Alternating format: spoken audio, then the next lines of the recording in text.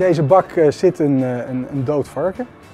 Eh, wij proberen met, eh, met onderzoek te kijken van als het varken zich gaat ontbinden, eh, is overleden rechtstreeks van een slachthuis opgehaald, en proberen te achterhalen of wij technieken kunnen verzinnen om de, het tijdstip van overlijden nauwkeuriger vast te stellen.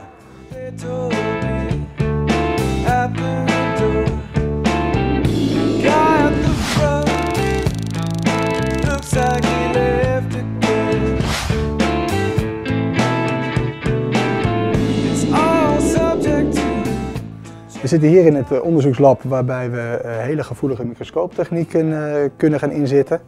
Hier staat onder andere de, de SEM-microscoop. waar deze onderzoekers mee bezig zijn is in het kader van het vuurwerkproject. We proberen vuurwerkparticles te kunnen detecteren.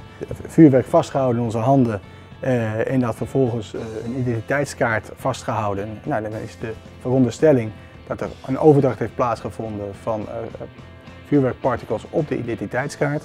Waarschijnlijk is dit een stof eh, of een particle van vuurwerk eh, die we proberen te detecteren. Als lector heb ik voor ogen om op korte termijn en samen met partners een test- en oefencentrum te realiseren hier in Twente voor opsporing en veiligheidsvraagstukken.